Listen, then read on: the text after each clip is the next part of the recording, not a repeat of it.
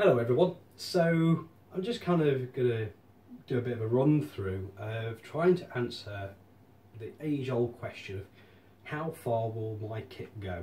And so whether this is whether you're building it or buying it from myself, this will help answer that question. And I think it's quite a good one and it always gets asked. So how I spin this around is very much to ask almost a question back is what do you want it for? Now this falls into the requirements element. So I'm, I'm kind of wanting to try and gauge from the individual, uh, and this is for yourself, you're asking yourself exactly, you know, what are you going to be using for? You know, is it going to be using for rats in the back garden, or is it going to be used to sort out foxes that are coming across from a field from afar to come and get chickens, or you, you might be out um, uh, stalking deer, and you know, there's a multitude of other stuff. So so this is where I then put into the, these three categories. So whether you're going for close, medium or long range. And these are my personal thoughts about you know what uh, deems close, medium long range. Purely from a night vision perspective, I'm not, not too fussed of whether it's daytime shooting because that's a different game altogether.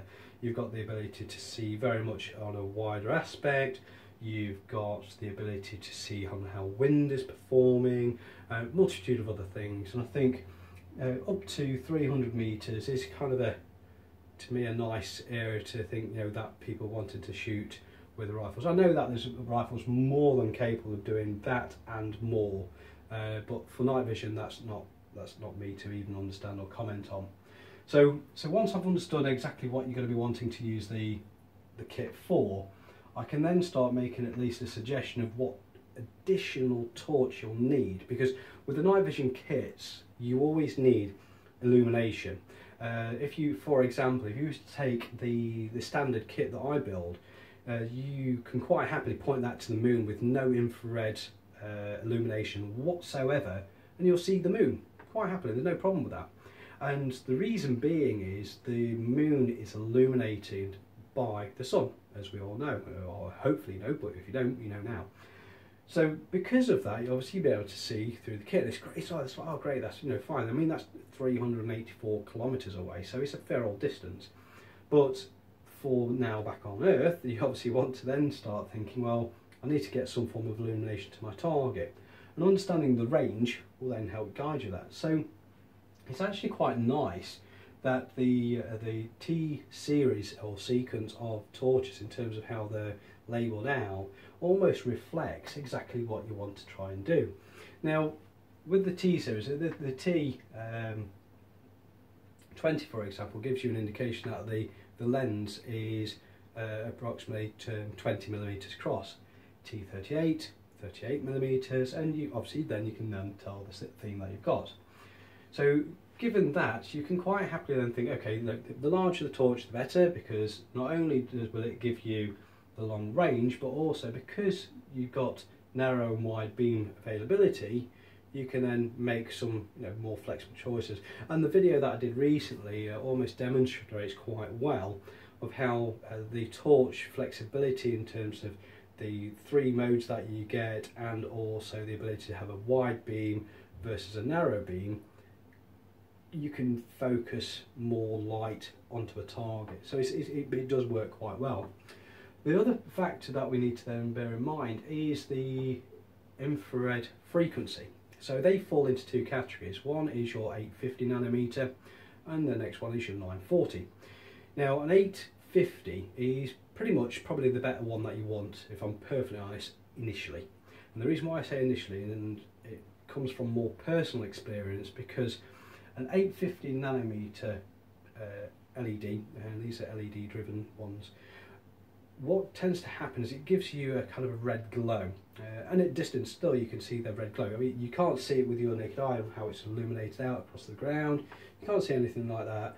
But the problem that I suffered was very much that the permission that I got kind of given or asked to work upon was was absolutely battered by someone going up there with just a standard lamping kit. And that lamping kit had a, a red filter on it, which is fine. And there's hundreds and hundreds, and probably even thousands of people who've gone out and done exactly that same thing. And, you know, they've done quite well.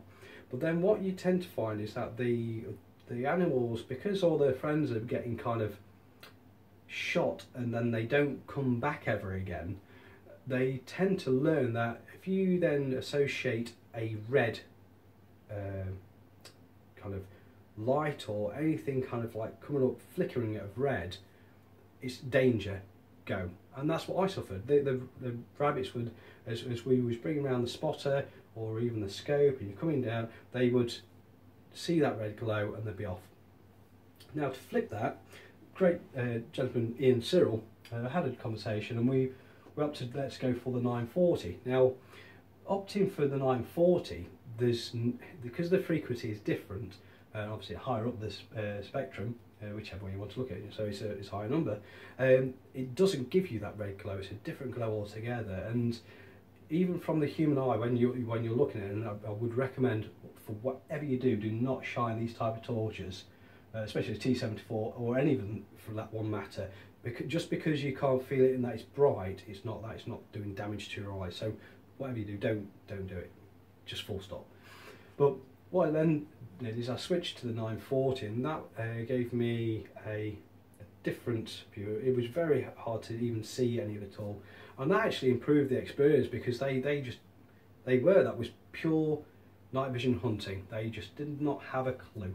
And, you know, unfortunately, met their maker in a sense. So, so if you're then getting to, um, you know, struggling with any animals that are lamp shy, uh, because they've obviously been associated with uh, red lights, etc. 940 nanometer is good.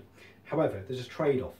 When you go uh, to this frequency here, you tend to lose almost um, 40 to 50 percent uh, loss of light hitting your target. So your longer ranges will deplete. Now, because the T74 with an 850 nanometer can quite happily hit uh, 300 meters and, and upwards. Yeah, I've had, uh, of a bit of a tinker around. I've got 400 plus meters on it, uh, which is fine. And again, I'm not going to go into the realms of actually ever wanting to encourage anyone to shoot out to that distance, but it was just to prove that it could be done.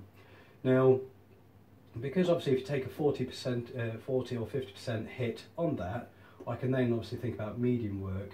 Now, to me, again, I'm using a, a sub 12 foot per pound airgun, very much rats, rabbits, that's my domain. I don't need anything more. And it's purely just for looking around the field, if I'm perfectly honest.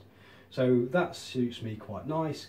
And then what I want to then do is, obviously if I want them to push uh, as much of the light as possible, this is where my brilliant drawing here demonstrates. So what I'm trying to almost articulate is, when you've got your torch, if you put in as much light on a focus beam as possible, all that light energy there is going to your target if you've got a, a, a wide beam, so when you're you know, focusing your beam down, if it's wide, all this all this here is, is wasted. Along here, there's, there's, it's just going into nowhere. All that energy is gone. But if you was to then concentrate around here, what then happens is all that then comes back from your target, exactly the same as an eye works. You know, we're, we're getting, constantly getting you know light photons hitting the back of our eyes. We process that, and off you go. And that's what the sensor's doing for you. So we get all that come back and then we get a good image.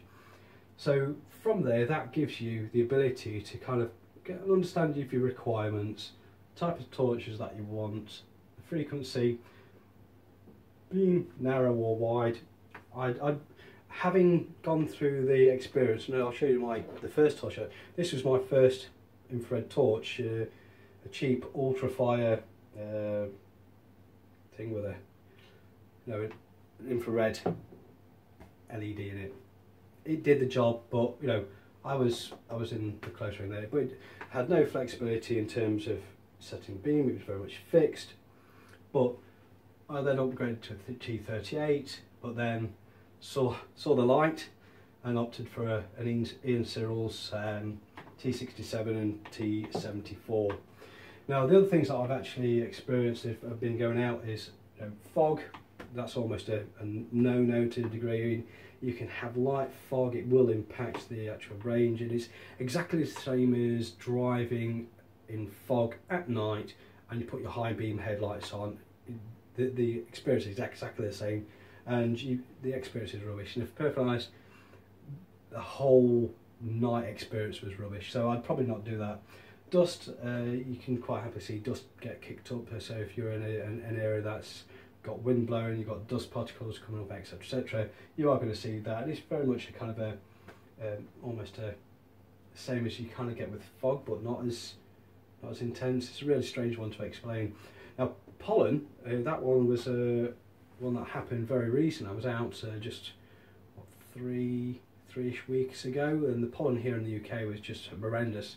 And I took a stupid decision to go out to one of my other permissions, and the, the landowner had not cut the grass for a while, and there was a breeze coming off, and you could literally just see this stuff just coming off the, the grass. And obviously, when the light is hitting it, all that then gets knocked back. So it gave the whole experience. Um, it wasn't good. Uh, but again, you know, it was one of those ones went out and didn't shoot anything. Uh, obviously, you know, other facts there that actually have an impact in terms of ranges. Again, using the moon as the example, if, if that was illuminated, I mean, you could have a target, uh, which we've done before, which uh, the where we're wanting to shoot is fully illuminated, but where we're shooting from is not, and that is almost an ideal scenario where almost you don't need uh, an infrared torch to a degree. You can use whatever illumination down the ground.